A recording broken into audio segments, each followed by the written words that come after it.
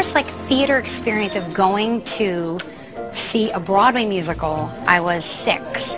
And I think it was either Cats or Starlight Express. But it was like within the same weekend. I was visiting New York and my mom took me to both of those shows. I always enjoyed performing as a kid, but I remember yeah, I remember watching those shows and just being fascinated and, and hoping that I could do that someday.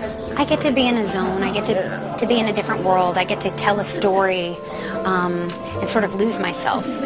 It's a difficult path, but if you believe that it's like the only thing for you, I don't think it has to be the only thing, but it has to be the thing you're really, really passionate about. And if you're really, really passionate about it, you should pursue it. So you should believe in yourself and then you should fearlessly go after those dreams. I had people in my life that encouraged me, mostly my family, to to sort of pursue it and to be driven. And I saw from those examples, you know, whether they be famous, whether they be directors, whether they be teachers, that that show you something that you didn't know before and they sort of open up something within you that push you in a new place. It's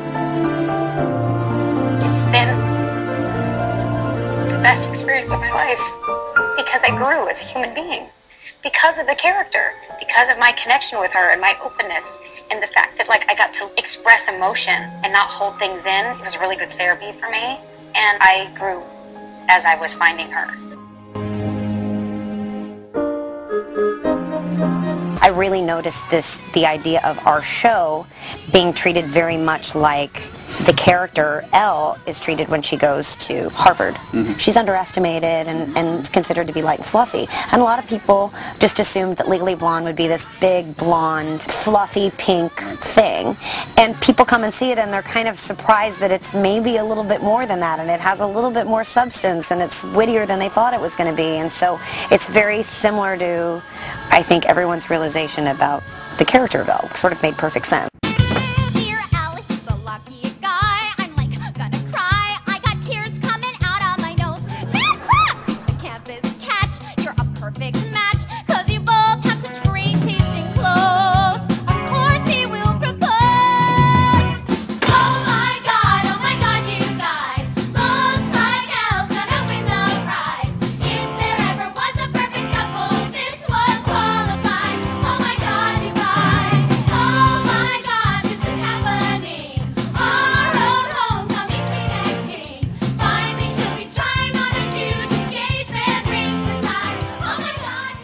Playing Woods has rubbed off on me in a way of being positive and being optimistic and in, in sort of being, being fearless in terms of going forward and, and, uh, and proving people wrong. She fearlessly follows her heart for love, for someone else, but realizes that, that what she was looking for the whole time was to love herself. What's inspiring about that is that she's found herself and then she stands up for herself and she stays true to herself.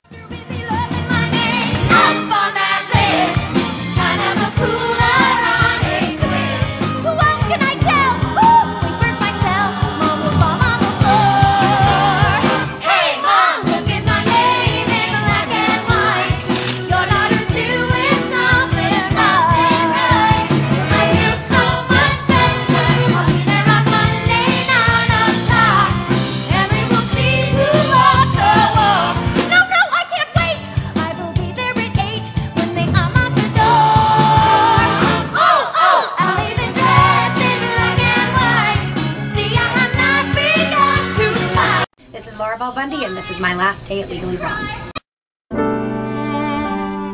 Chalk it all up to experience. They said I'd fail, but I disagreed.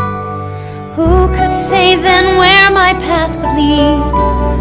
Well, now I know. Back to the sun, back to the shore, back to. I think that's the key, just having your family right there behind you. And I've always told Laura that the sky was the limit. And I've given her every opportunity to fulfill her dream, and I would continue to do that. And I think the next step will be that much bigger.